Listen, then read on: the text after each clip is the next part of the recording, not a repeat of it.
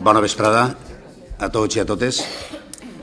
Benvinguts al ple d'avui dilluns, dia 26 de setembre de 2016. Anem a donar pas al primer punt, senyor secretari. Aprovació, si és procedent, de les actes números 2 i 3 de dates 29 de febrer i 30 de març de 2016, respectivament. Alguna modificació, alguna proposta? Queden aprovades. Següent punt. Assumptes oficials. Bé, en primer lloc, informar que, desgraciadament, des de l'últim ple de juliol fins avui han hagut eh, sis víctimes més de la violència de gènere i, eh, com bé sigui en costum, anem a guardar un minut de silenci per totes elles. Us posem en peu.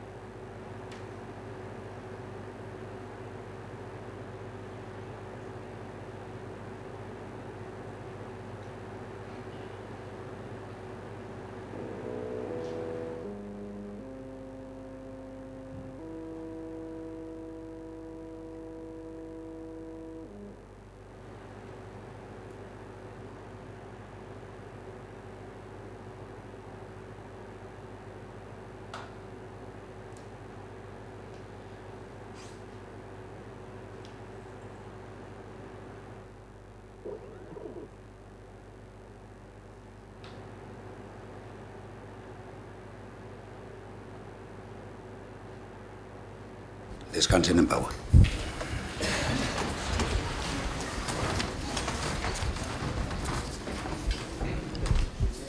En segon lloc, bueno, comunicar que el secretari que així al costat, Mateu Puigcerver, eh, avui serà l'últim ple que està entre nosaltres perquè el dijous causarà baixa en aquest Ajuntament i se'n va a un altre poble. Crec que parle en nom de tota la corporació si li desitgem que li vagi molt bé en el nou Ajuntament on estarà, que en el Gemesí. Gràcies per tot.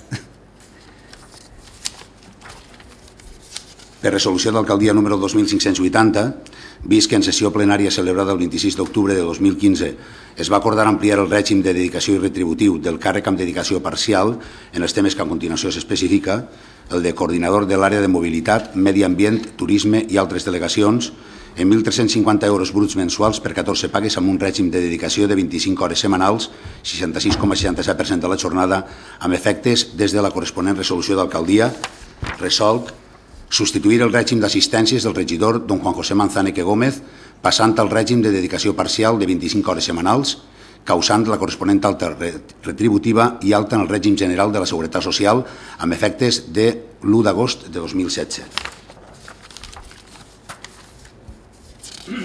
Per resolució 2621 barra 2016 resolc abocar les competències delegades de la regidora senyora Marimar Mazo Jiménez durant el període comprès del 22 al 28 d'agost de 2016 amb dos inclosos. Es tenia que donar compte d'esta resolució al ple de l'Ajuntament en la primera sessió que s'està.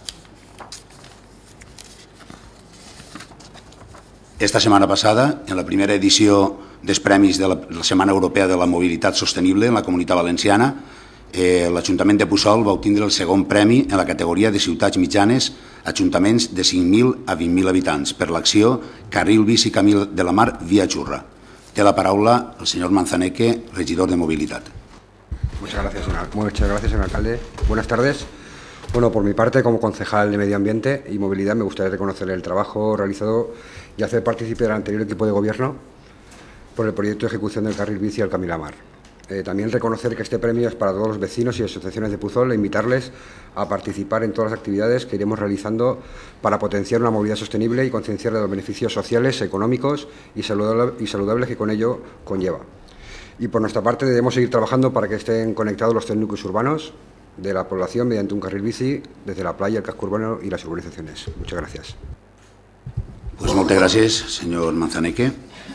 A continuació també, eh, Joana Edo, en nom dels veïns de la plaça del País Valencià, ha presentat escrit per registre d'entrada celebrant la sensibilitat que ha tingut tant l'alcalde com l'equip de govern al, al, hacer una rotación de los eventos más ruidosos como son las macro y discomóviles, de las cuales por parte de los vecinos de la Plaza País Valenciá y adyacentes que vienen sufriendo año tras año, toda vez que todos estos eventos musicales venían realizándose siempre en la misma ubicación, prolongándose su duración hasta altas horas de la madrugada y con un volumen excesivamente alto todo lo cual provocaba numerosas molestias por proximidad de sus viviendas y sobre todo por su continuidad de todos los días de fiesta.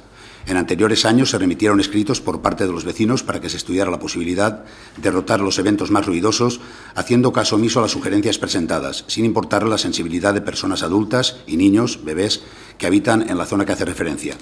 Por todo lo expuesto, reiteramos nuestro agradecimiento y conformidad con las resoluciones adoptadas por la Corporación Municipal a este respecto, instándole a que sigan la misma línea de rotaciones de los citados eventos en los sucesivos años. Següent punt, senyor secretari.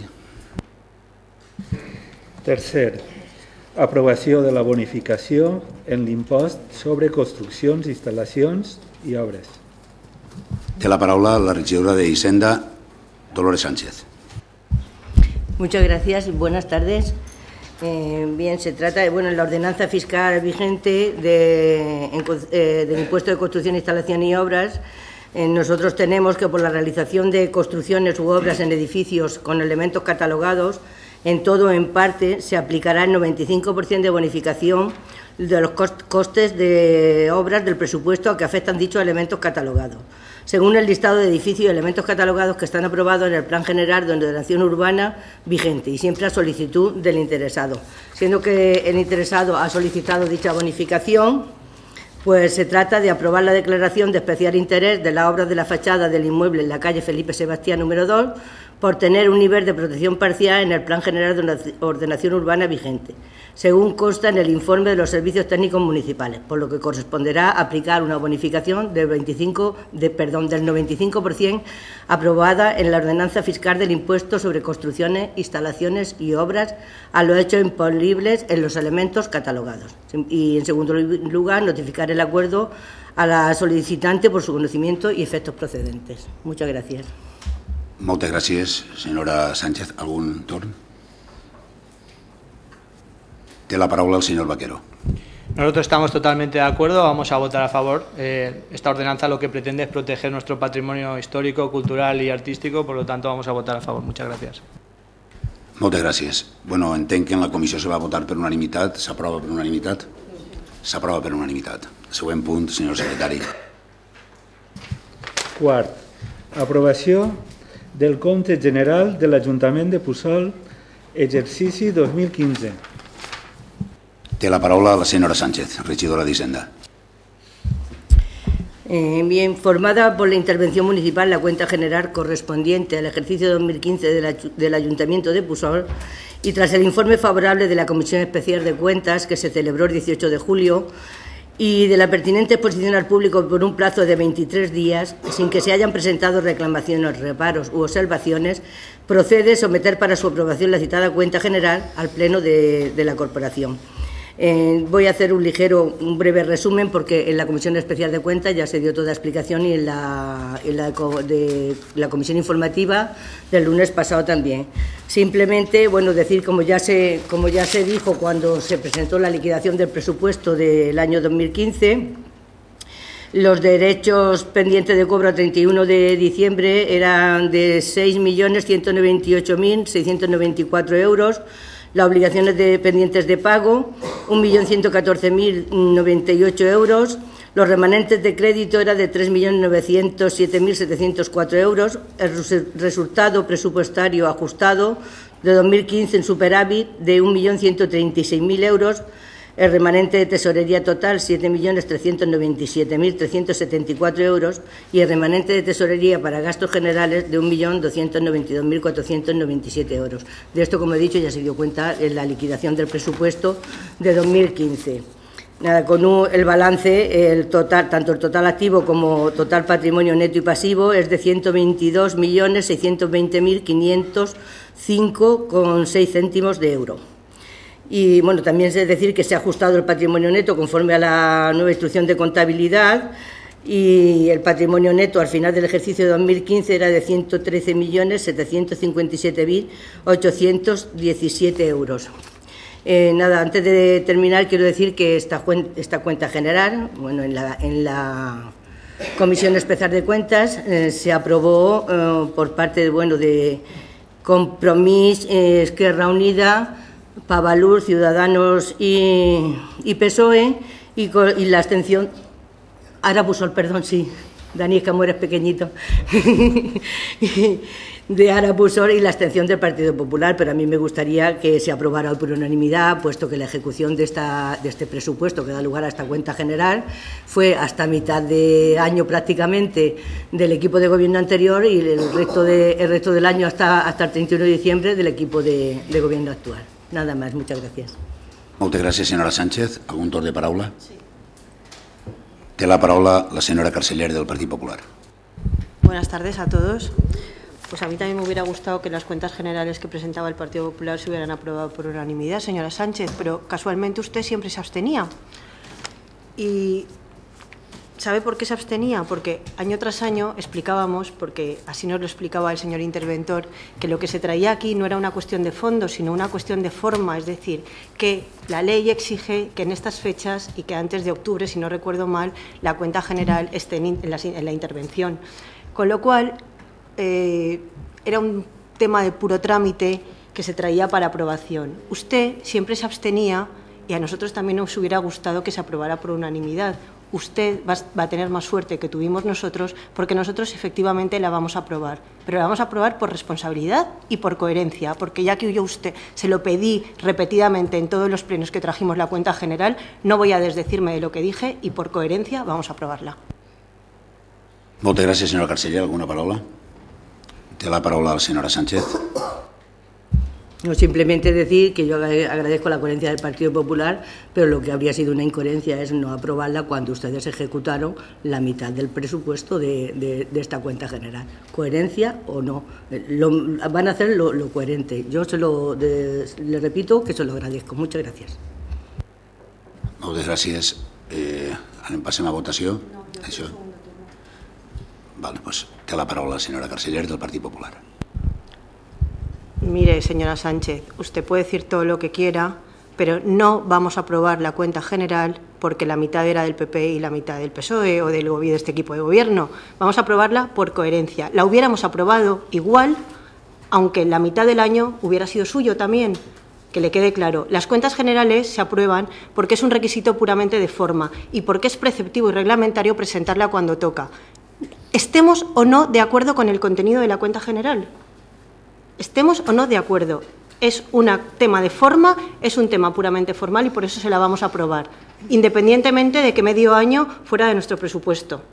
Esto es, como le vuelvo a decir, le guste o no le guste a usted, un tema de pura coherencia, cosa que usted ha demostrado repetidamente que no la tiene. Bé, entenc, per lo que ha dit la portaveu del Partit Popular, que s'aprova per unanimitat de tots els grups. Queda aprovat per unanimitat. Següent punt, senyor secretari. 5. Donar compte de l'execució pressupostària, informe trimestral de morositat, període mitjà de pagament i endeudament del segon trimestre de 2016. Té la paraula la senyora Sánchez, regidora d'Hisenda. Bien, decir que la ejecución del segundo trimestre de 2016 del presupuesto se cumple con el objetivo de estabilidad presupuestaria, siempre es un estudio a, 31 de diciembre y la regla del gasto. Eh, se cumple con la ley de morosidad, eh, es decir, que acreedores por operaciones pendientes de aplicar el presupuesto no hay, no hay ninguno. El periodo medio de pago es de 10, de 10 días, el primer trimestre era de, de 11 y el índice de capital vivo es del, del 45,37%. El primer trimestre era del 46,54%, se ha rebajado un poco porque es normal, cada trimestre se va amortizando, se va amortizando deuda. Eh, nada más, muchas gracias. Moltes gràcies, senyora Sánchez. Alguna paraula? Era donar compte, per tant passem al següent punt.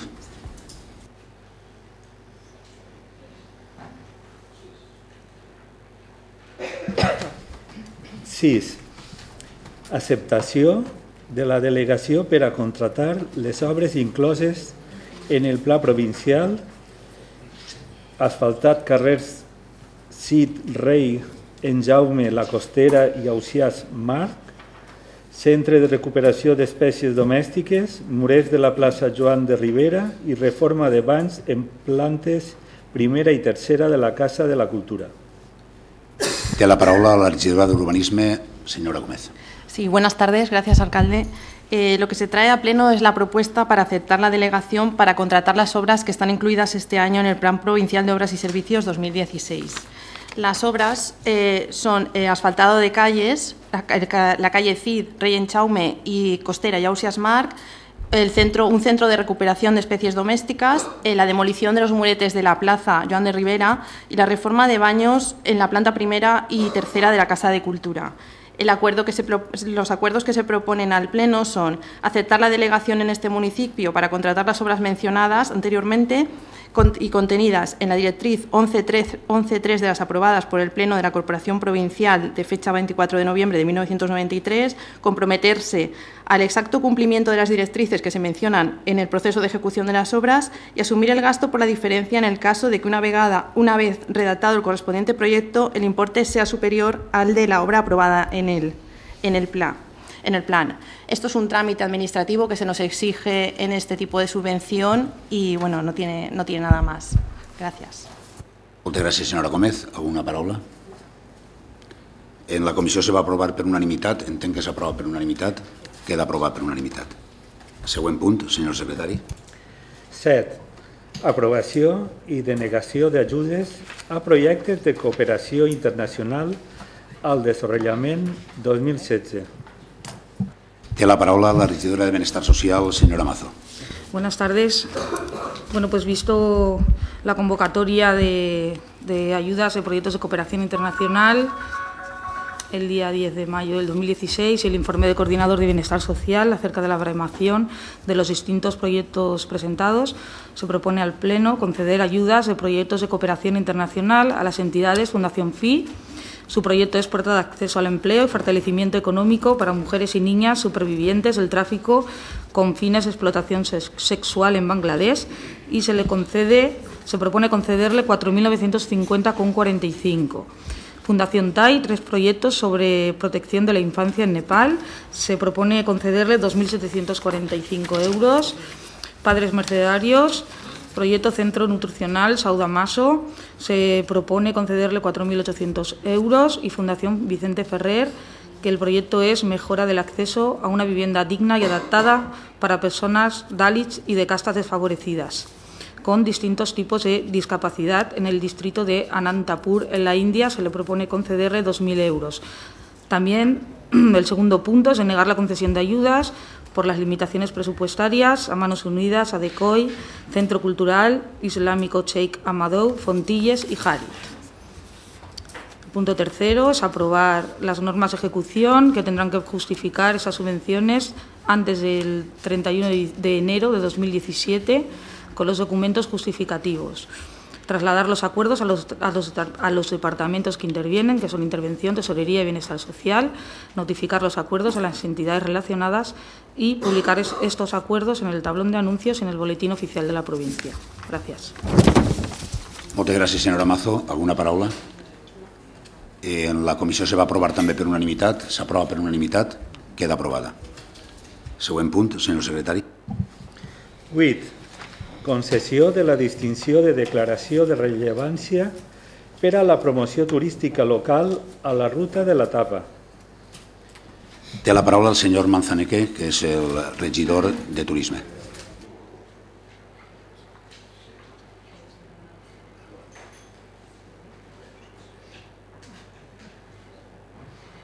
Eso sí.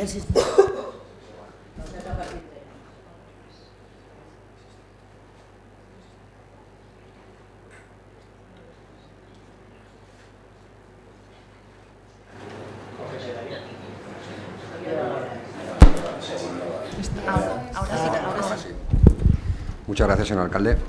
Bueno, paso a leer a continuación el Reglamento Municipal de Honores, Distinciones y Protocolos y Símbolos del municipio, en su redacción modifica por acuerdo de pleno en sesión del 29 de febrero, tal, tal, que introduce un nuevo distintivo honorífico para el sector turístico.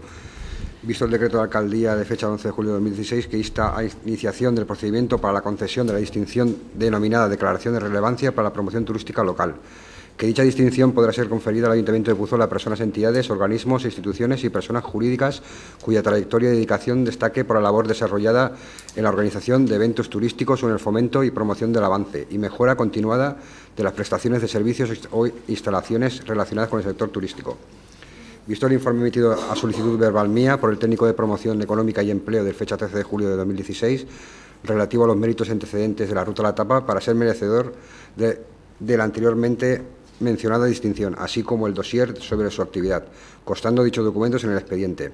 Visto que, de acuerdo con los antecedentes sobrantes en el expediente, considero que los méritos y merecimientos de la ruta de la tapa de Puzol son relevantes dentro del ámbito del municipio y, por tanto, justifican motivadamente la concesión de la distinción. Por eso, el concejal delegado de Turismo propone a la Comisión Informativa de Cultura, Deportes y Bienestar Social, para su posterior elevación al Pleno, la adopción del dictamen favorable 1. A conceder la ruta de la tapa depuso la declaración de relevancia para la promoción turística local como distinción en el reconocimiento de su consolidada trayectoria desarrollada en la organización de eventos turísticos y da traslado el acuerdo a la alcaldía presidencia ante el pasado pleno para que pueda ejercerse en su caso la opción prevista. Muchas gracias. Muchas gracias, señor Manzaneque. Bueno, dir algun vol de paraula? Dir que en nom de la corporació, evidentment, és dir, tots sabem, i tots els veïns de, i veïnes de, de Puçol sabem el que significa la ruta de la tapa i el que significa com a diguem, motor dinamitzador de l'economia i també com a un fenomen social, quan començà, ja porta uns anys, i el que fem ara és reconèixer i donar-li, diguem, posició de reconeixement a nivell local. Tenen que passar uns anys més per a que després aspirar al reconeixement autonòmic i després al reconeixement eh, a nivell d'estat. Per tant, eh, saben l'agrupació de penyes que l'Ajuntament, siga del color que siga el que governe, pues, sempre ha estat al costat d'ells i esperem pues, que tinga una llarga vida la ruta de la tapa i desitjar-los el millor. Enhorabona. Dit això, passem al següent punt.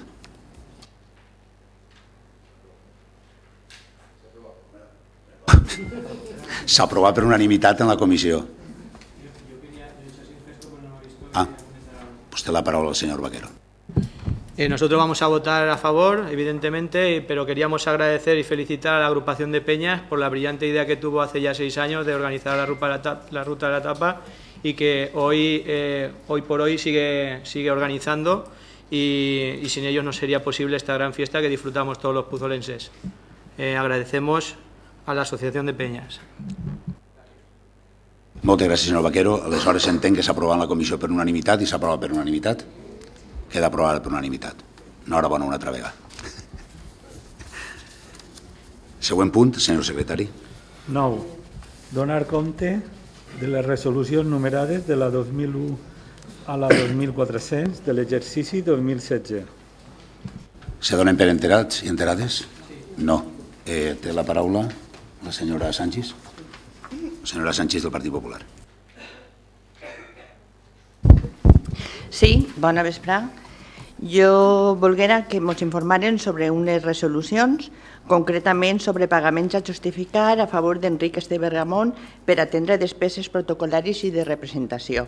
Elles són la 2132, de data de juny per un import de 200 euros, la 2148 de 20 de juny per import de 2.360, la número 2193 de 21 de juny per import de 2.360 que està, està en un informe de reparo del senyor interventor i la número 2268 de 22 del 6 per un import de 400 euros.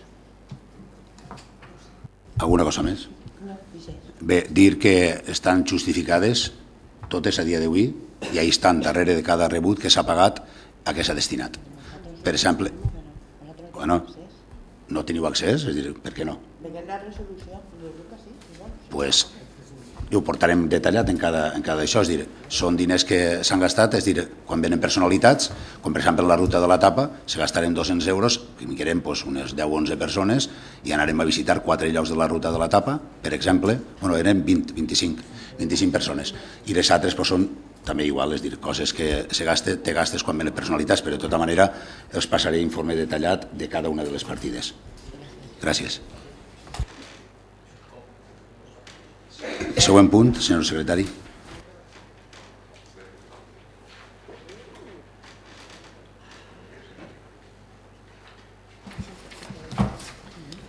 Deu.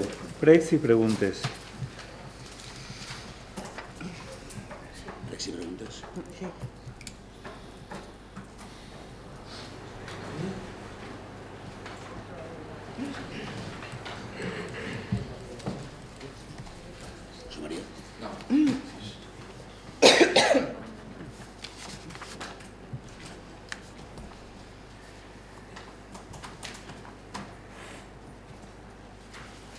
Té la paraula el senyor López d'Ara Puçol.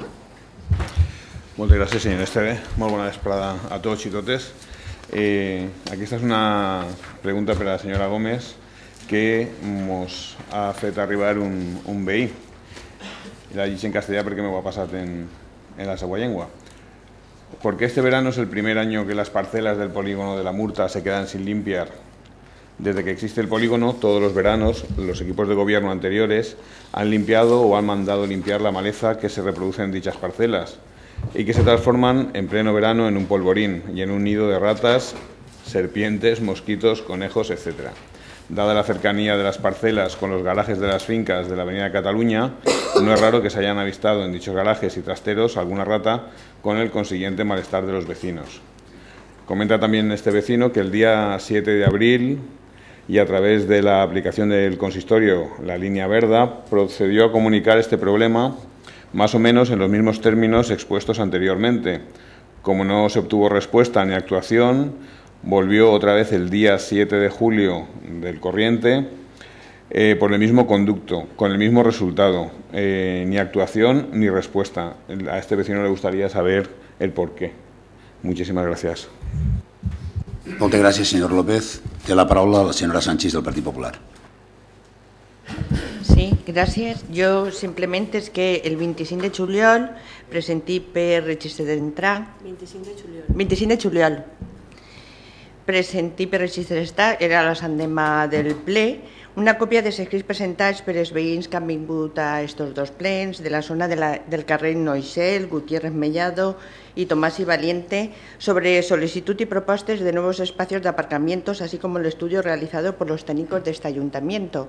Ells vinguen així, diu que havien presentat més de quatre escrits, que no s'havien contestat. Avui no estan així, jo no sé si és que ja està resolt i aquest tema no està resolt, està pendent, perquè dins de les resolucions que ha dit antes també n'hi havia una que li ho ha preguntat al jefe de la policia, que s'havia adquirit eh, senyalització. També, una d'elles per el carrer Noixel, entonces no sabia si ja estava clar o no estava clar, perquè hi ha una resolució d'adquisició de, de senyalització per a aquesta zona. M'agradaria que ens ho fera plegant, perquè ens agradaria saber al Partit Popular pues, tots els escrits i totes les inquietuds que han tingut aquests veïns, que així se presentaren. Eh? Un altre que tinc, li ho ha preguntat al regidor avui, però ens agradaria pues, que ens aplegara algun informe sobre el préstamo de bicicletes que vostès han ficat en marxa aquest estiu en l'espai Bonamar, s'ha tingut molt d'èxit, jo la veritat no n'he vist moltes, sí que he vist el, el regidor en bicicleta, però no, no n'he vist moltes per al poble o per la platja. M'agradaria saber pues, que ens informaren del detall del préstamo de les bicicletes. Gràcies. Moltes gràcies, senyora Sánchez. Jo li puc dir que quan els expedients que vostès han estat governant ja quatre anys i ho tenien que saber, quan estan oberts, els expedients no se poden, diguem, se poden consultar, crec, però no, no se, o no se poden consultar, tan siquiera, pot ser, si quan estan obert l'expedient i quan està tancat sí que poden accedir, però en el moment s'ha obert un expedient per el tema de no i tot això, però quan estiga fet doncs ja podran, quan estigui tancat l'expedient se podrà consultar. Sí, sí, no? Quan està un expedient obert Sí, eh, quan hi ha un expedient obert, segons el tipus de, de document, pot tindre accés o no pot tindre accés. Clar, si tu estàs fent un informe i tu no l'has acabat, doncs ja no té accés. Però altres documents està canviant la jurisprudència i, eh, i bueno, no és això de que estiga començat un expedient i no pot accedir ningú, sinó segons els, els documents que estiguen tratant-se i es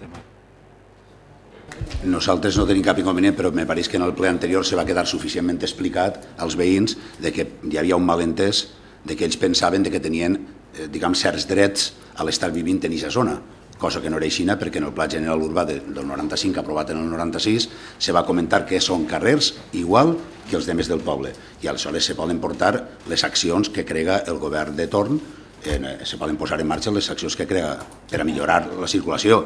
Una vegada estiga, de, la manera, jo és que no tinc mai ningú inconvenient que se miren els expedients ni res. Dir, jo sempre me pregunten a vegades de secretaria i dic que s'accedisca, dir, se pot, se dona la informació, o sigui, així no hi ha, no hi ha res que amagar. Però, en fi, de tota manera, pues, bueno, pues, intentarem contestar-li. Tenim còpia d'un escrit, que m'ho fan plegar els veïns, Mm. però m'ho diré, la encontré i la que se para el del sistema. Al pròxim ple li contestarà la, la senyora Gómez val? sobre el tema dels escrits, perquè ahí sí que jo no, no sé ne quants tenim uno, li s'han direm que mos donen els quatre els veïns Molt bé. i no passa res, però li vaig dir que No, ho al pròxim, sol·licitaria. al pròxim ple li contestarà Molt bé, la gràcies. senyora Gómez. Gràcies. Té la paraula la senyora Carceller del Partit Popular.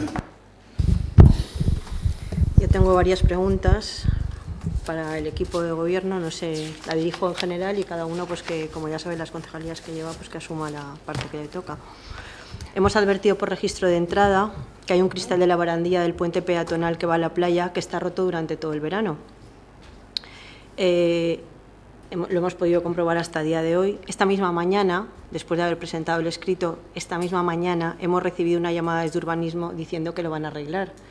Hemos recibido la llamada esta mañana cuando el cristal lleva roto todo el verano. Podían haber sido un poco más diligentes y ya que durante el verano pasa tanta gente por ese puente, pues haberlo solucionado antes. Ah, Parece que hayan esperado a que hayamos presentado el escrito para darnos la respuesta o para contestar. Entonces, eh, simplemente que hemos, lo hemos advertido, lo advertimos por registro de entrada y la hemos recibido hoy. Eh, la segunda pregunta es que eh, ya la hicimos hace un par de plenos, y digo un par de plenos porque en el último no pude estar, ya que no me lo permitió este equipo de gobierno poniéndolo en un horario, sí, poniéndolo en un horario donde habitualmente no se celebran los plenos y las personas que trabajamos en otro sitio, pues en ese horario no podemos acudir, evidentemente. Entonces, eh, vuelvo a decir que no fue en el pleno anterior, sino hace dos, trajimos unas fotografías del estado en que se encontraba la parcela de donde estaba situada Cointra, estaba llena de suciedad y de porquería. Eh, algún vecino, algún vecino me ha dicho que es que no localizan a los propietarios de la parcela y que eh, como no localizan a los propietarios no pueden hacerles llegar el escrito para que, para que la tengan en condiciones. Digo, no sé si lo han localizado a la empresa propietaria o han tomado la decisión de limpiarlo, pero no estaría mal que lo hicieran, porque las ratas son de este tamaño. Y le digo porque las he visto porque vivo al lado. Eh, el solar está muy sucio y requeriría por lo menos una, una limpieza a fondo.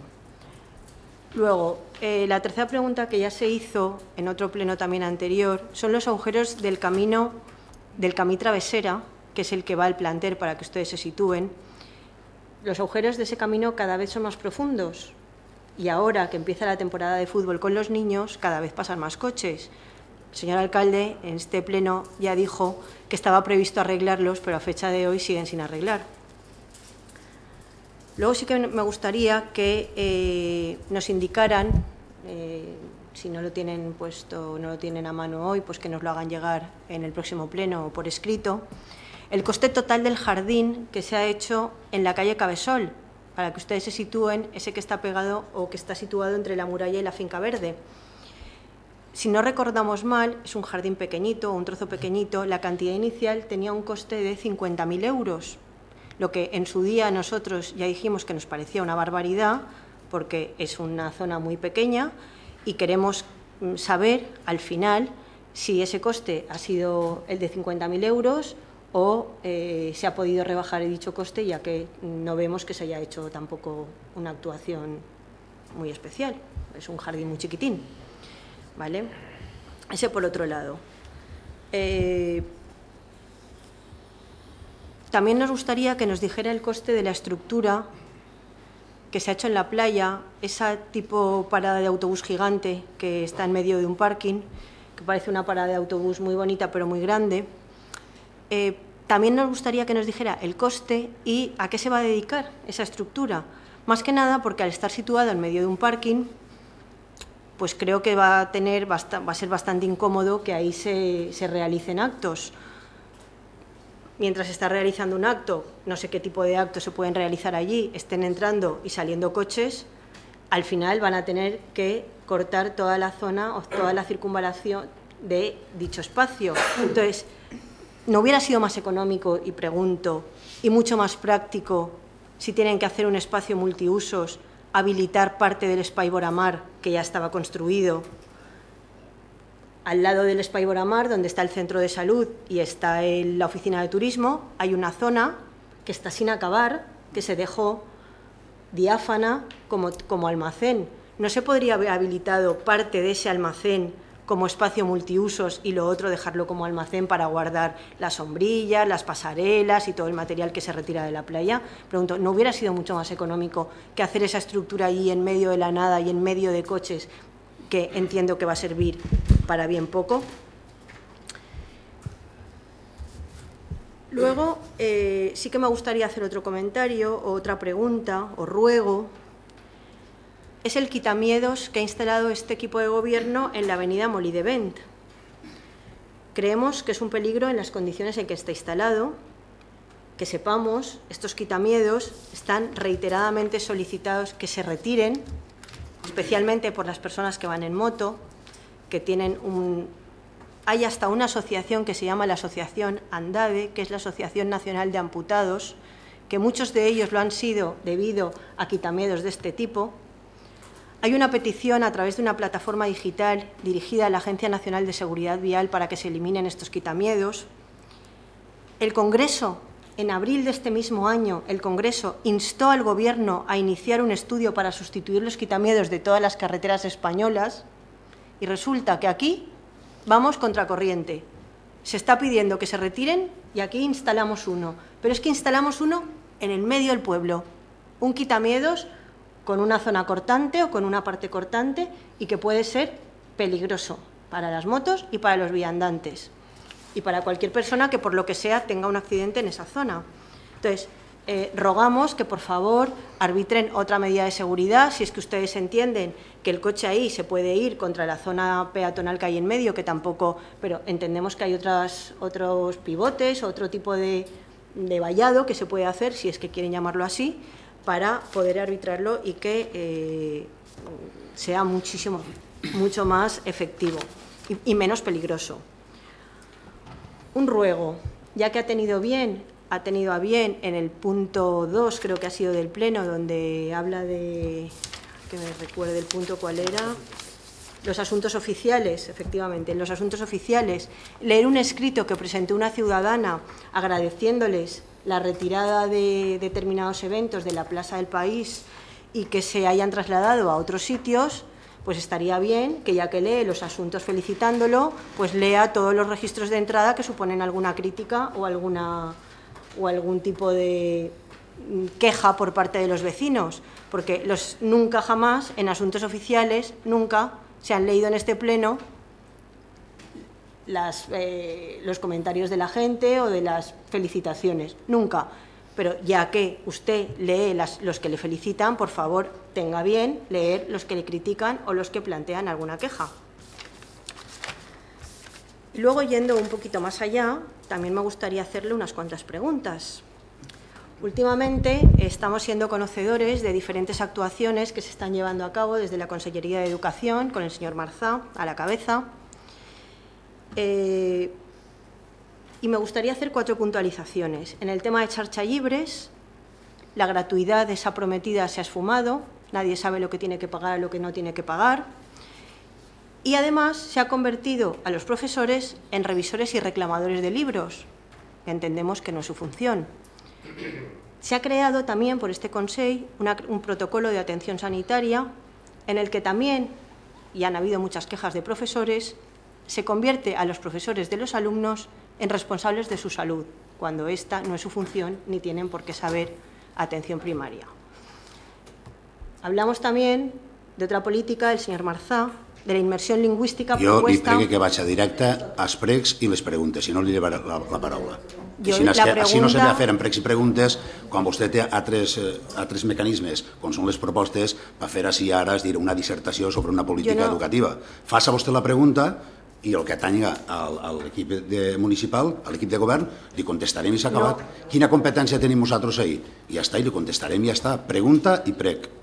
No Anem puedo- acostumbrant-se perquè el ROM està en marxa ja. No puedo Val? hacer la pregunta Sí, si fa, el favor, el siga més concreta, si no la.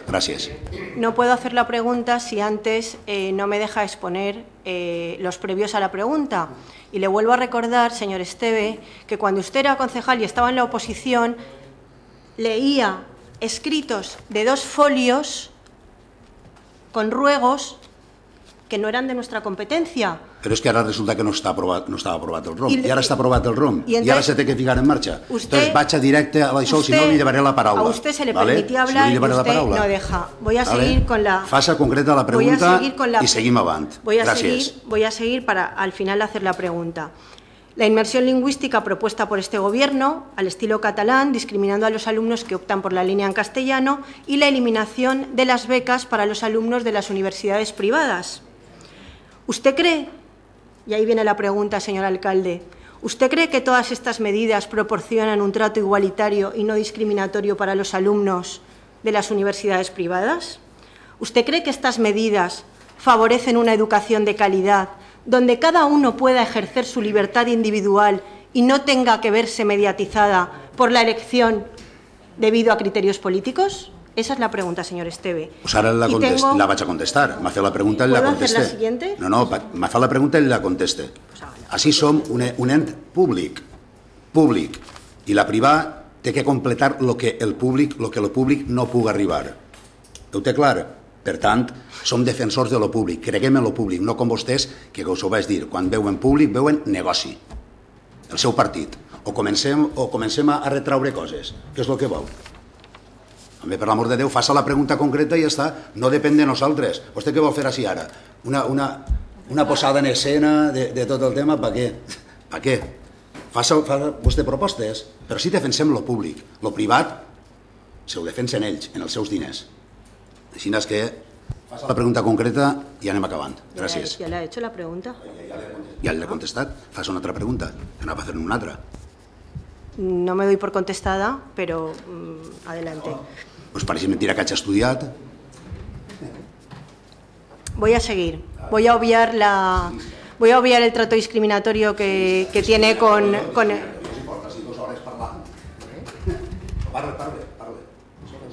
No, no le voy a, no le voy a sacar todos los vídeos de lo que usted hablaba en los plenos anteriores porque no me parecería razonable, pero de verdad, de verdad que el trato es discriminatorio y va...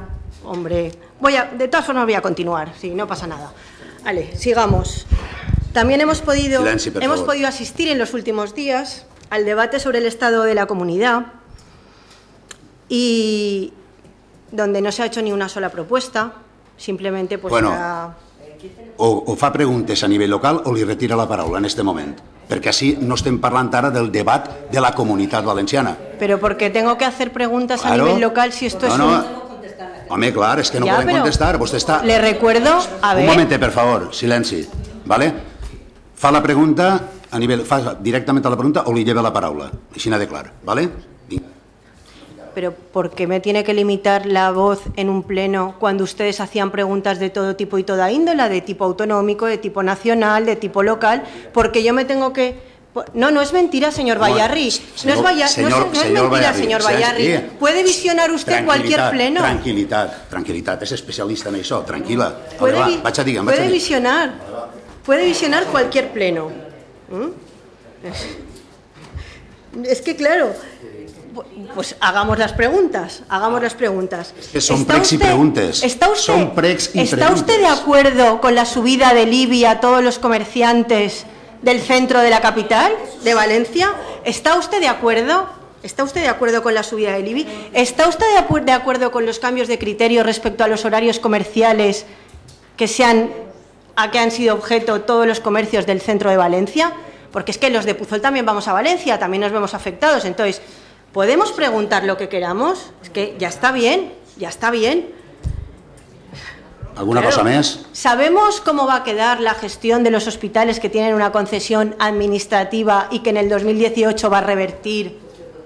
¿Va a revertir? Claro, es que a usted le molesta mucho, pero usted en todos los plenos nos a mí acaba. no me molesta, Nos perdón, acaba perdón. la FE, nos acaba la Fórmula 1. Claro, totes les estafes i tot el que roba el seu partit, que és diferent perquè això sí que ens pertoca a tots. El els diners que s'enduia el seu partit, és robant, com han robat en tots els casos, això sí que ens afectava a tots, a tots els del poble. Ah, i lo- Però i les això, medidas que això usted- que està dient vostè, jo no li puc contestar. Això que alguien tinga que contestar. tampoco podía contestar en lo que usted me preguntaba. Sí, sí, tranquila, tranquila, ja, ja, ja, ja. Mírala.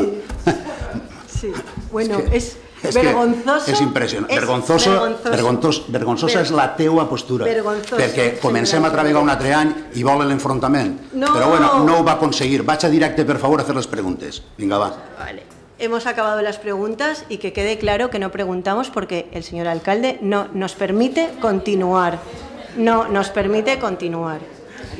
Pero bueno, yo es que de verdad no entiendo la postura de este equipo de gobierno. Tiene miedo de que preguntemos, tiene miedo de contestar, porque nosotros no les limitábamos.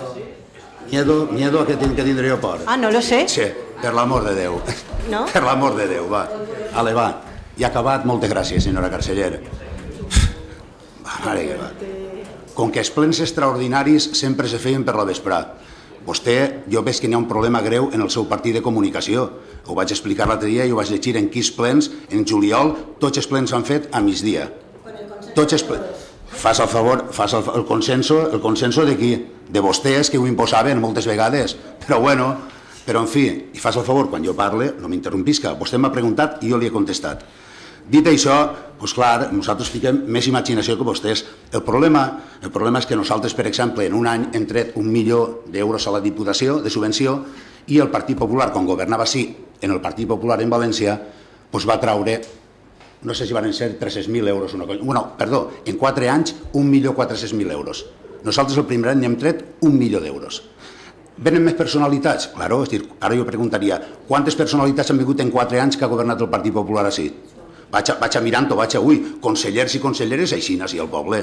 I portar diners així al poble va fer, però mogolló, a que sí? No, clar, clar, no- nosaltres, nosaltres gestionem, gestionem, eh? gestionem i governem, no com vostès que venien així a, a lluir, a lluir sempre, a cobrar i a no fer res. Això és el que han fet vostès durant els quatre anys. Bueno, bueno, clar que sí, clar que sí, clar que sí. Rigues, rigues, a veure si la un ataque de risa. Pero me río por no llorar, señor Què vol muntar? que. Vol que, vol que li cride, li cride l'ordre? Eh? Vol que la tire? Doncs no la vaig a tirar, perquè vull que senta el que li vaig a dir ara després. Té la paraula, senyora Vila. Gràcies, senyor Esteve. Bona vesprà. Aquest estiu, a la platja hem pogut apreciar en determinades zones d'alta densitat de població que no és suficient la col·locació dels contenidors de reforç, ja que els caps de setmana, sobretot, s'amuntonaven els residus per les voreres pròximes als contenedors. Pregaria a l'equip de govern que de cara al pròxim estiu es realitzi un estudi per tal d'adequar el número de contenidors a la quantitat de residus generats. També pregaria que es col·loqui una zona de recollida estacional selectiva de residus en la zona d'Avinguda Pescadors entre els números 50 i 70, que incloga, per exemple, els tres contenedors habituals més uno de vidre i uno de cartó. Per altra banda, alguns dies he sigut testic de discussions entre veïns i membres de la brigada degut a que a les 8 del matí es posaven a podar els setos del passeig amb tallaores a motor prou ruïdoses, per lo que també vos pregaria que s'organitzen aquestes feines un poc més tard i així evitar enfrontaments innecessaris. Per una altra banda, enguany s'ha obert la parcel·la municipal que hi ha enfront del faro per a que isquen els vehicles de les obres d'acondicionament de les voreres. No ha ocorregut cap incident, per lo que també pregaria que es mantinga obert durant els estiusos. Tornant a les obres d'accessibilitat de les voreres de la platja, considere que eren necessàries, però pense que en estiu no era el moment de dur-les a terme, ja no soles per les molèsties que hagin pogut ocasionar als veïns, sinó perquè quan més trànsit de vehicles i peatons hi ha a la platja, la gent tenia que invair la calçada per a creuar els cantons, ja que totes les ceres estaven cobertes per valles, impedint el pas per elles i generant un perill greu per a la seguretat dels peatons. Pregaria que es valoren els beneficis i els inconvenients quan se facin actuacions d'aquest tipus. A vegades gestionar bé pot ser deixar de, de costat una subvenció i pensar més també en la seguretat i en el descans dels veïns. Per lo que respecta a les festes de setembre, comentar que la nit de paelles, les gàbies de les taules i les cadires estaven disseminades per els voltais de la zona, sense cap tipus de protecció. Enguany una xiqueta es va xafar la mà, per lo que pregaria que s'adeqüe una zona per a col·locar les gàbies i es, protegisca per evitar el pas dels xiquets. També pregaria que el muntó de terra que s'ha col·locat en la parcel·la de dalt de l'hort on es varen fer les paelles, igual que s'ha col·locat, que es torni al seu lloc, ja que està impedint l'accés a una parcel·la que es pretén cultivar. Tampoc haguera estat de més comunicar al propietari d'aquesta parcel·la que s'anava a depositar allí el muntó de terra. Per lo que respecta a la cabalgata, si en guany que ve es pretén fer igual, pregaria que l'orquestra o disco mòbil estiga a començar quan apleguen les associacions participants la mateixa, ja que molta gent se'n va tindre que anar després d'estar més d'una hora esperant que començara. I per a finalitzar, dir que les pluges d'aquests dies han deixat veure que en els nous accessos per a peatons que s'han realitzat en el carrer del Síria i adiacents s'han omplit d'aigua, just en la zona de pas de peatons, per lo qual pregaria que per a, per a noves actuacions s'evaluen les pendents d'aigua i es realitzen les obres tenint en compte ditxes pendents. Gràcies. Moltes gràcies, senyora Vila. Té la paraula el senyor Bearri, regidor de Festes. Clar, no, fer un aclariment per a no confundir que és el que solen fer la persona que es va xafar el, la mà no va ser el dia d'Espanya, va ser un altre dia de festes, averiguo i li contestaré el següent ple, perquè val? Gràcies.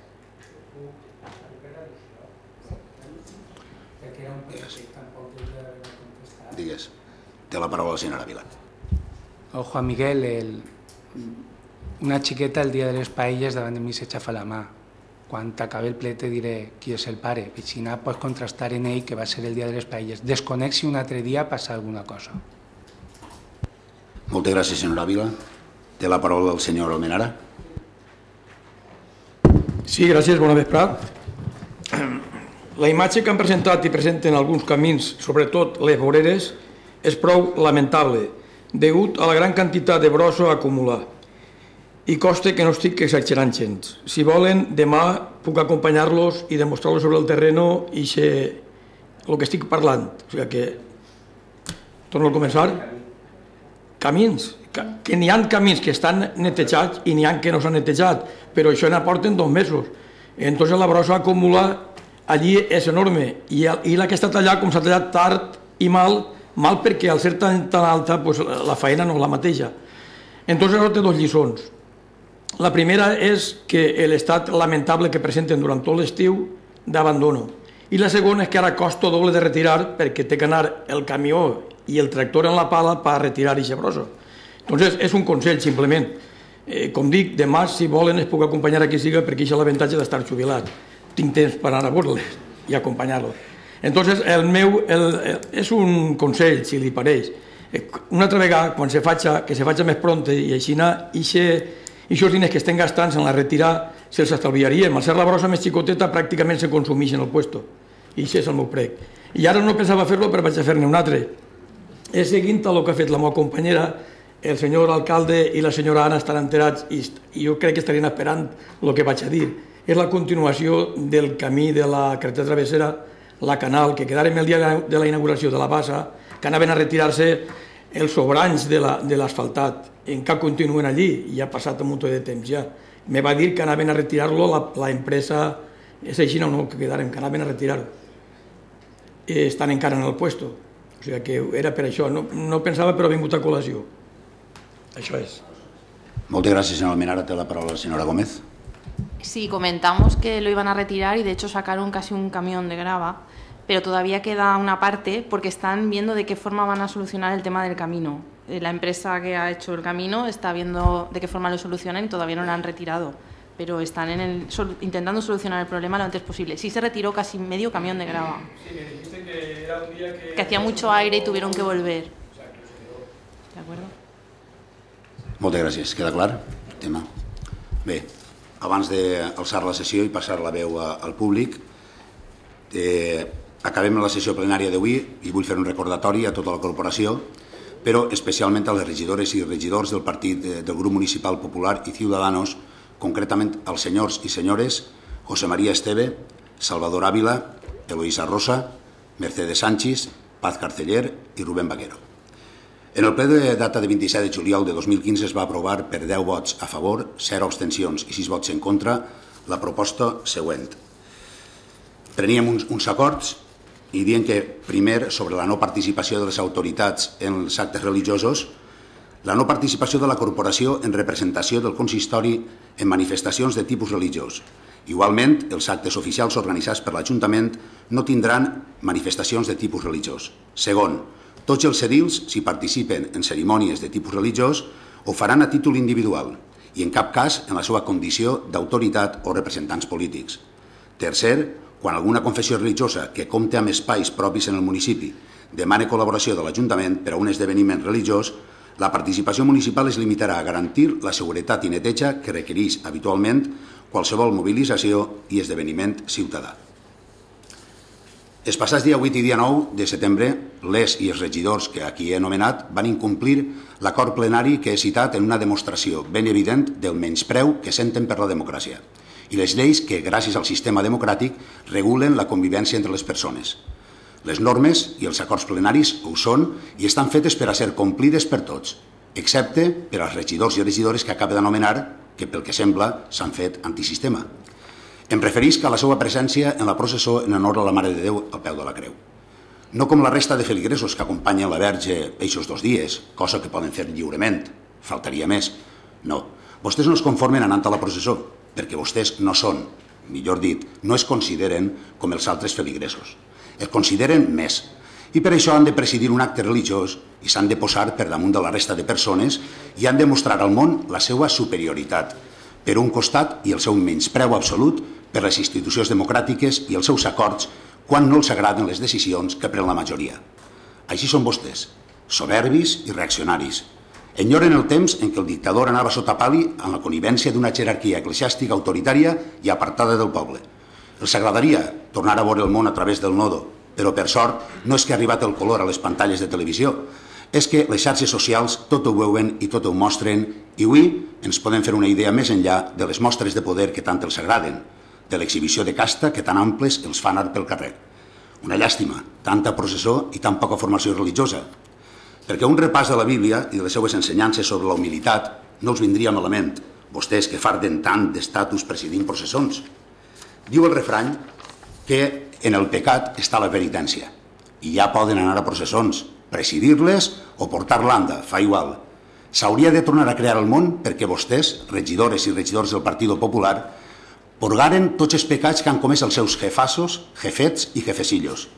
Ni anant a genollons tenen perdó tots els lladrocinis, estafes, fraus, robatoris, suborns, prevaricacions, malbarataments, blanquers de diners, saqueig de les arques públiques i tota la resta de malifetes que han perpetrat des de totes les institucions on han governat. En el cas del regidor de Ciudadanos, la veritat és que no entenc què feia vostè participant en aquesta funció, senyor Vaquero, perquè vostè, sí, vostè que aprovar la proposta a favor, vostè vota a favor de la proposta i ara resulta que ja no pensa igual o simplement és ignorància. La ignorància és la mare de tots els mals. Contra la supèrbia, humilitat. Contra les vulneracions dels acords plenaris els seran imposades les sancions que estableix el reglament de règim intern. I vull recordar-los que en el ROM que aprovaren per unanimitat, en el capítol 3 dels deures, article 66, apartat H o H, representar l'Ajuntament en actes i documents amb la corresponent autorització del senyor alcalde. Article 66, absència i faltes, diu un paràgraf, així mateix el president de la corporació, prèvia autorització del ple, pot privar de la percepció de les retribucions o assignacions econòmiques als membres de la corporació en cas d'incompliment reiterat dels deures del seu càrrec, amb les mateixes condicions assenyalades en l'apartat anterior. Dit això, queden avisats. D'acord? S'alça la sessió, se passa la veu al públic. Por alusiones. No tenen la paraula. Se passa la, s'alça la sessió i se passa la veu al públic. Gracias, señor alcalde. De res. Dime el nom i cognoms. Ara. José Ramón Gómez.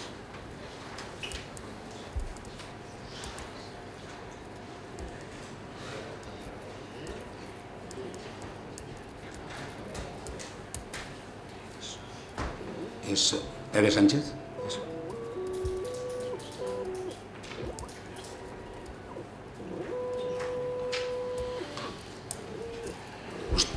Paula, el senyor José Ramon Gómez. Jo he de dir en primer lloc que és la primera vegada que assistisc a un ple en aquesta legislatura, que en molts anys que no xerrava aquestes actes, i m'he quedat un poc sorprès de la dinàmica del ple, però bueno, sembla que és així. Bé, jo he escoltat que en el punt de pregs i preguntes s'han fet moltes preguntes relacionades amb el municipi, això és positiu perquè són els temes de cada dia i això cal resoldre-los per una part i per l'altra. També s'han fet més que preguntes, comentaris que de vegades el que volen és crear polèmica, això no afavoreix la convivència, però la pregunta que jo vaig a fer no és com estes, sinó que és més de política institucional. Jo desconeixia que el senyor alcalde anava a intervindre en aquest sentit, com ha fet ara al final, però la meva pregunta anava cara als regidors que efectivament el dia 8 de setembre jo vaig assistir com a espectador a la processó de la Mare de Déu i vaig veure, bueno, passen els festers, passa l'Anda, passen el senyor Retós i darrere van cinc regidors d'aquest Ajuntament, que els ha anomenat vostè, i ocupen un lloc i un protocol paregut al que tradicionalment representaven les autoritats municipals. I el que jo volia preguntar-los és, vostès en quin objectiu estaven allà, quina finalitat era la tenen. I segons el que me responguen, pues poder continuar. La paraula al senyor Calceller. Gracias. La verdad es que agradezco, mm, no sabe cuánto agradezco, disculpe que no recuerdo el nombre, la respuesta, la pregunta, porque así puedo responder a lo que no me ha dejado el señor alcalde antes, con lo cual, mm, muchas gracias. Le agradezco profundamente su, su comentario y su, y su pregunta. Eh, mire, todos los años, todos los años, los concejales de este ayuntamiento somos invitados por la Cofradía de la Virgen al Pie de la Cruz a asistir a los actos que se celebran en su honor, porque por eso la Virgen es la patrona y las fiestas se celebran en su honor. Somos invitados. Como somos invitados a multitud de actos, algunos asistimos, a otros no podemos, pero procuramos ir siempre una representación de este grupo y hablo por mi grupo. Yo si luego le quiere contestar el señor Vaquero o si se da o si se da por contestado con mi respuesta, pues yo encantada. Acudimos porque somos invitados. Cuando acudimos a la puerta de la iglesia, nosotros teníamos intención de ir a la procesión como vamos todos los años. Todos los años. Y le vuelvo a repetir, somos, vamos porque somos invitados independientemente de que sea un acto religioso o no. Es un acto religioso, como hay muchos actos que son populares y también acudimos. No entendemos por qué a unos sí que podemos ir estando invitados y a otros no, porque ese es el motivo de nuestra Mm, de, acudir a los actos, la invitación. En caso de que si no somos invitados, no vamos, sea religioso o sea popular. Cuando llegamos a la puerta de la iglesia, preguntamos a los señores de la cofradía, que son los que la organizan, que dónde nos poníamos. Y nos dicen que nos tenemos que poner ahí porque íbamos a título personal. No voy como representante Mire, señora Mazo, me, me silencio, parece fenomenal que le dé tanta silencio. risa. Pues nada, se ríe usted a gusto, pero, pero no es el lugar. Silencio. Y menos cuando estamos contestando. Ella busca eso, ella busca eso, tranquila. Nos ponemos donde nos dicen.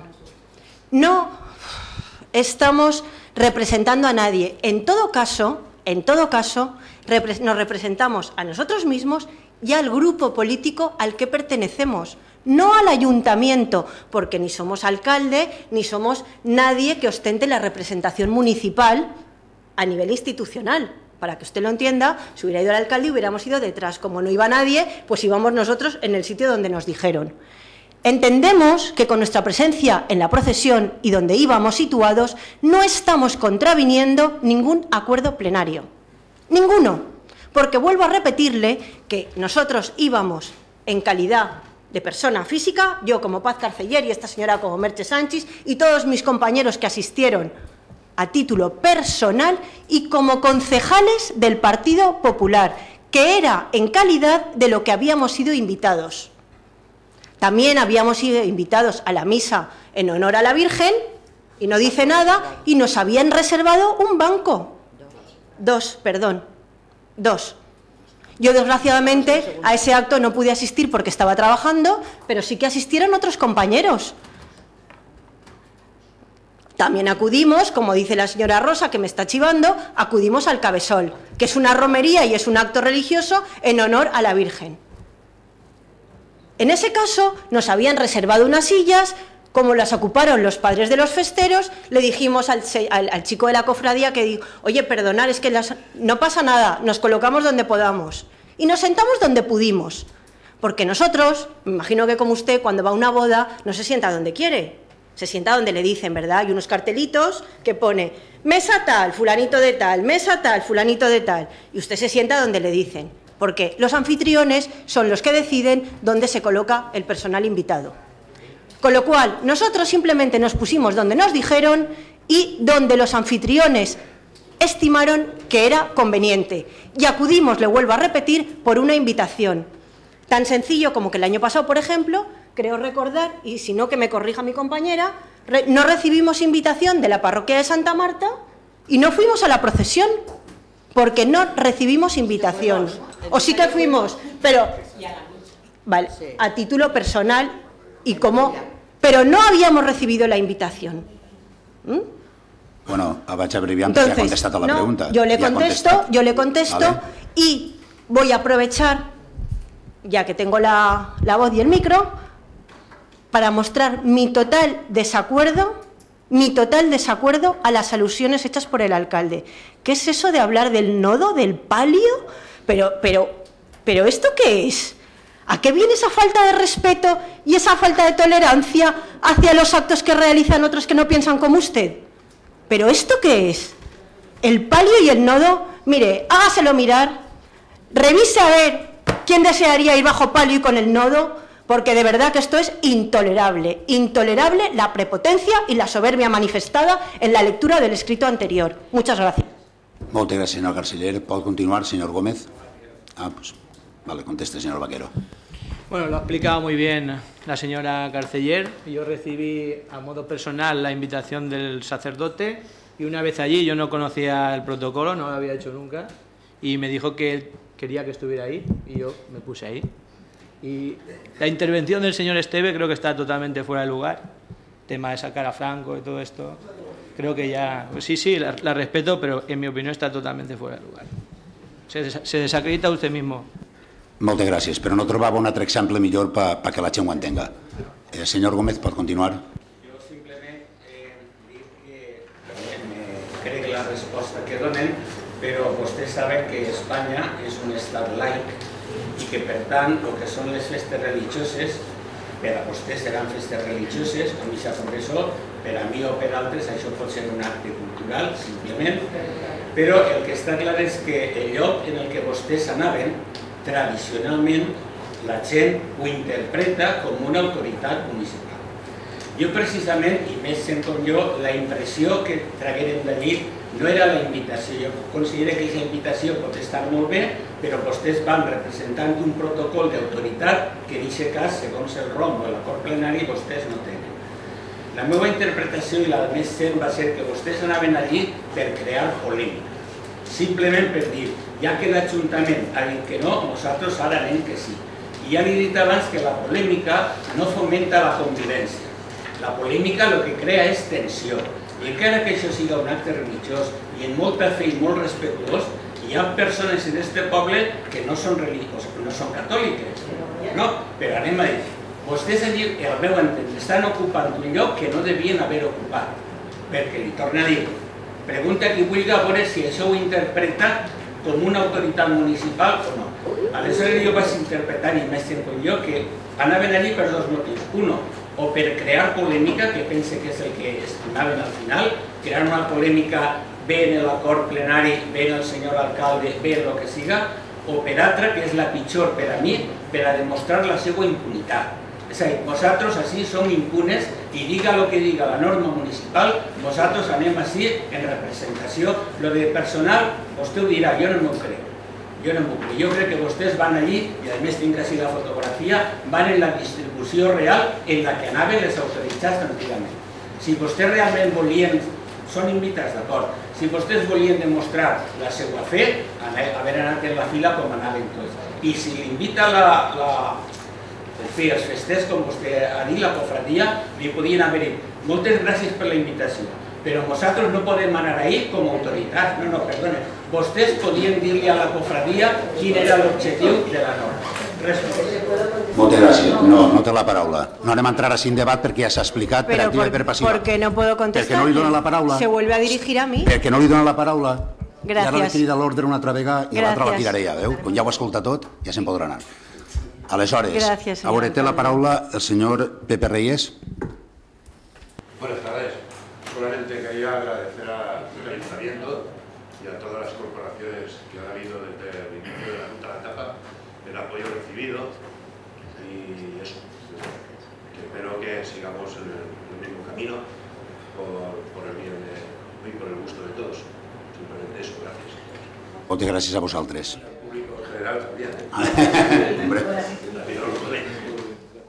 Moltes gràcies, Pepe. Té la paraula el senyor Pepe Sánchez. Hola, Dolori. Jo volia fer una pregunta, per, dos preguntes, però una d'elles pareix que ja estava contestant a vostè, de que han obert un expedient pobre la zona de, del sector 2 de l'ensanche sobre l'aparcament. M'ha paregut d'entendre. Jo el que volia dir és que eh, n'hi ha tres zones així en el poble, de les tres zones de l'ensanche, el sector 1, 2 i 3, que estan totes plenes de senyals de prohibit estacionar. Quan preguntes a algú te diuen eh, que això és una zona residencial. Jo mira de les normes d'urbanisme que n'hi ha eh, en la pàgina web de l'Ajuntament i no he trobat que en el poble n'hi hagi cap de zona residencial. Entonces no entenc per què totes aquestes zones estan tan marginades d'aparcament. Per què estan totes les plaques? M'agradaria que s'estudiara i que se mirara perquè Senyor Sánchez, quines, quines zones són, concretament? pues totes les del Sánchez, del sector 1, el 2 i el 3. El sector 3 Antigons, el sector 2 La Barraca i el sector 1, és que no sé com se diu, allà al final. Com? Sí. Sí. Vale. Bueno, voy a decir el plan urbanístico para el sector 1, 2 y 3. Y entonces, a preguntas le digo, es una zona residencial. Jo no he trobat cap de norma en les normes que diga que hi ha en el poble cap de zona residencial. Són carrers normals i corrents. De un residencial per tot el poble. Però no hi ha res especial. Entonces no entenc per què tots aquests carrers estan plens de plaques que està prohibida aparcar. Això per una part. I segon, voldria que, que ho mirarem i ho estudiarem. I segon, dins d'aquestes zones també n'hi ha uns carrers que estan posats com a peatonals o zona peatonal, que hi ha un panel rectangular en una placa d'estacionament prohibit i una altra de circulació prohibida, i dins de la placa de circulació prohibida està posat de veïns. No entenc per què els veïns d'ahir poden entrar tranquil·lament a una planta baixa en la que no paguen igual igual que paguem el resto de ciutadans. M'agradaria que, que algú m'explicara per què aquests senyors no paguen. Ells venen que quan van comprar allò era zona residencial, la mateixa història. No n'hi ha zona residencial. Si és una zona peatonal i ells tenen un garatge allí que s'han venut i tenen dret a entrar al garatge, que paguen igual igual que pague jo i el resto de ciutadans. Això és el que voldria, voldria fer. Moltes gràcies. Jo te puc contestar el que es vas contestar als veïns del carrer Noiciel, darrere del centre de salut, que és el que anem a canviar ara, perquè hi havia un malentès, perquè, clar, en el seu dia, la corporació que estava governant va decidir ficar una placa que ficava prohibit estacionar, excepte veïns, per exemple, no? és dir, i circular per allí. Aleshores, això està ahí. Entonces, això se pot canviar? Sí. És el que estem intentant ara, és dir, per, diguem que, que ser tots iguals, en, que en totes les zones, perquè ells tenien entès inclús que havien cedit terrenys i tot en el seu dia en el pla este que s'ha portat a terme, que havien cedit terrenys per a zones de pàrquing, per a, saps? I resulta que això és quan se fa, diguem, una actuació parcial, sempre hi ha sessions per a vials i per a tot. I ells pensaven que era una sessió personal d'ells perquè no es molestarà ningú i pogueren entrar dins de les cases. I aleshores se va, bueno, mos va informar els tècnics d'urbanisme van dir no. En el Pla General Urbà del 1995 aprovat en 1996, tots els carrers són igual. Entonces, cada corporació, doncs clar, en un moment donat, doncs, diu, ara hi està prohibit això, doncs ara volem que se torni a aparcar. Dir, per això sí que se pot, i en, en això estem. Hem fet una compra de, de senyals viàries i anem a fer l'actuació, perquè avui precisament hem estat obrint, eh, diguem, l'aplica de la, de la, del tema de la pintura vial, i jo calculo que en uns 15 dies i això doncs ja estarem en marxa i anirem poquet a poquet ja tornant a la normalitat i se zones del poble, a poquet a poquet. I lo de les carrers peatonals i zones peatonals per a Que no... No, estem, parla, estem parlant d'això, estem parlant d'això perquè, per exemple, sí, i sa zona, clar, està també, diguem, eh, enquitranada d'una altra manera, les voreres estan d'una altra manera, i pareix que allò siga residencial, que ells diuen, i no és residencial. Igual que plaça, en la plaça... Sí, sí, totes les zones. Sí, val? Allí en siempre. Sí. Que se aparque y cuando aparca algún tenen la policía para que se la enduba a la grúa. Efectivament. Com el va passar el dia 30 al dia del Mm. Que van tocar la policia perquè no podien entrar al garatge i es van dur la grua als cotxes. Quin garatge si no pagues igual, igual, que tindràs? Aquí cal un veto a la policia. Això intentarem anar normalitzant-ho poquet a poquet. En això estem. Gràcies, Sánchez. Té la paraula el senyor eh, Collado, Rubén Collado. Eh, és que la, la notícia de que gràcies a la llei que tenim, eh, l'Ajuntament de Puçol, Puçol se té que fer càrrec dels gastos de les zones altes del poble. Gràcies, gràcies. Voldria saber, o voldríem saber, quines són les zones públiques a les quals tot el poble pot accedir.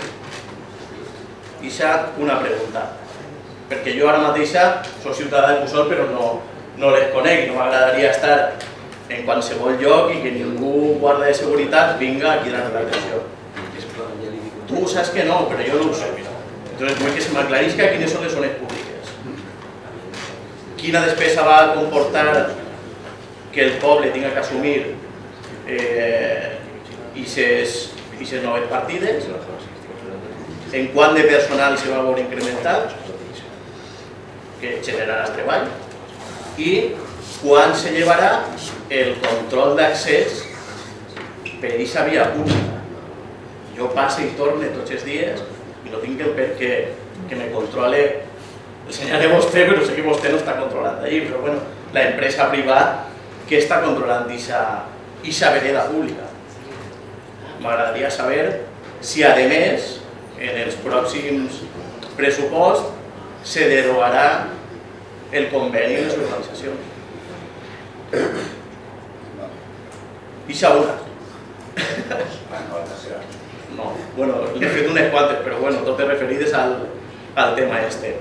En la zona que, que comentaven abans, en el carrer Maiciel i tota aquesta zona, saben que s'estaciona mal, o menos que deixen un poc de lloc per a que una caireta de rodes o un carret puga, puga passar igual que se deixa en zones de la platja en, en dies de més massificació de personal. I eh, en quant al valencià, que s'utilitza en, en les redes socials, agraeix molt l'impuls, però n'hi ha que fer-ho mitjanament bé. No, no podem tolerar que n'hi hagi faltes en les publicacions que se fan. Vale? Entonces, a mi m'agrada llegir en valencià, parla en valencià, respecte a qui parla en castellà, però no m'agrada veure faltes en la meva llengua. És un xicotet toc per a que vosaltres també ho controleu. Vale? Ja està. Moltes gràcies, senyor Collado. Pues a veure, zones públiques en les urbanitzacions, carrers, parcs i jardins. Són zones públiques. En el seu dia, precisament, el Consell Jurídic Consultiu ha, res, ha resolt, és dir, ha informat que, degut a que en el seu dia se lliuraren aquests carrers i aquestes zones públiques a l'Ajuntament, és per això que l'Ajuntament de Puçol se té que fer càrrec del seu manteniment. Això què vol dir? Això és molt senzill.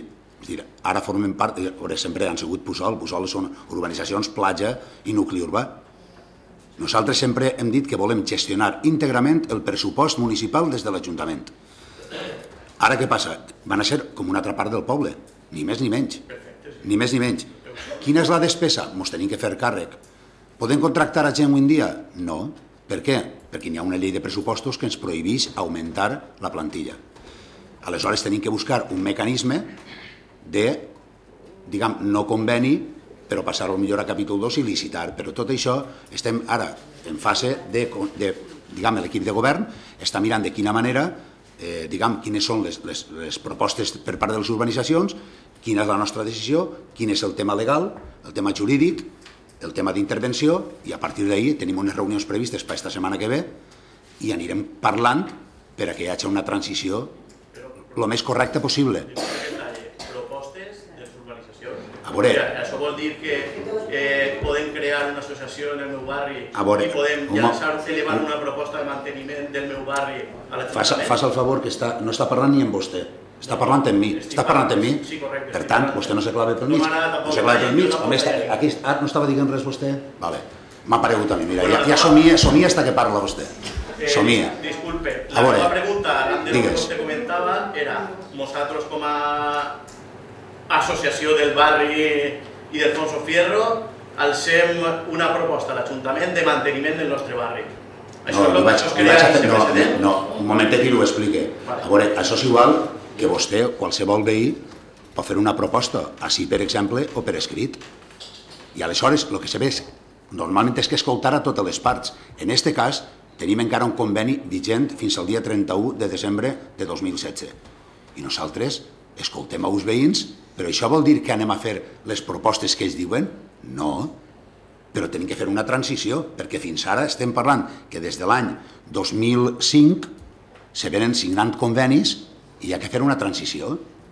Ells diran i nosaltres obrarem en conseqüència, depèn de la llei, de com està la llei actualment. Evidentment, fa falta un personal, un número determinat de persones, que puguen ser 5 o 7 o 10, que hi haurà que fer un inventari, hi haurà que veure quantes persones fan falta, però com avui no poden contractar aquestes persones, hi haurà que trobar un mecanisme legal per a netejar aquesta zona per part de l'Ajuntament. Perquè si no és, com qualsevol barri, si per exemple el seu barri no el netejarem en una periodicitat normal, doncs els veïns replegarien firmes i vindrien així, ens ficarien la cara roja i, bueno, i, i passa el que passa, és dir, que van a ser com una altra part qualsevol del poble. No hi ha més. Però jo crec que parlar, però parlar per escoltar, és dir, hi ha que escoltar a totes les parts i a partir d'ahir prendre la millor decisió. Però n'hi ha un tema legal, jurídic, n'hi ha un tema també d'intervenció i tot això pues, hi ha que donar-li forma. Simplement és això. No vol dir que anem a escoltar-los i tot el que ens diguen va anar a missa. No. És això, simplement li puc dir això, no hi ha més. Val? Bueno, n'hi ha haver algunes altres consultes, però imagina que quan, quan les tinguin clares, com per exemple el control d'accés, Com? Això és un tema, un tema, per exemple, en el moment que fem, per exemple, nosaltres càrrec, hi haurà que reconsiderar tot això, és dir, perquè si ja és obert, doncs entonces hi haurà que reconsiderar algunes coses. Val? Sí, té la paraula el senyor Babé, de Pavalú. Buenas tardes. Buenas tardes. Eh, el control de acceso, vamos a ver, nosotros- no se hace un control de acceso a todo. M'agrada que vostè me conteste, però a vostè no li, no li preguntava. preguntava. Ah, bueno, però simplemente- Bueno, no, no passa res. ¿Le puedo contestar solamente? A veure si mos pot, si mos pot aclarar alguna també. El control de acceso que usted se refiere no es que hagamos control de acceso a todos los que suben, es un, es un motivo de seguridad. Es un motivo de seguridad y en los tiempos que vivimos creo que nadie nos deberíamos oponer a eso. En todas las ciudades, en Valencia, en todas las ciudades, aquí también supongo, hay cámaras en los bancos, en las entidades financieras, en algunas joyerías y gracias, privadas, sí, sí, pero, pero en la calle, pero en la calle.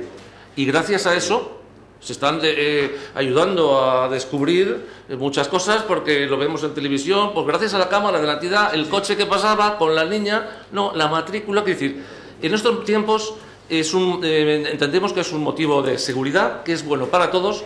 Allí son vecinos como usted, somos vecinos que vivimos o aquí o allí, y creo que tenemos, como si usted tiene alguno en su, en su calle, yo no me opondría a decir, motivo de seguridad, me parece estupendo. ¿Qué, vamos a hacer? Que, que como es un- una vía pública, eh, eh, yo me quejo de que me van a ver, pues no lo, no lo miremos así. Nosotros entendemos que es por seguridad. Me gustaría que todos lo viéramos también así. Eh, es, es importante, somos más vulnerables allí que en el casco urbano. Bueno, pues, pues, pues déjenos que pongamos eso. No hacemos daño a nadie. Ya digo, insisto, gracias a eso se han descubierto muchos casos.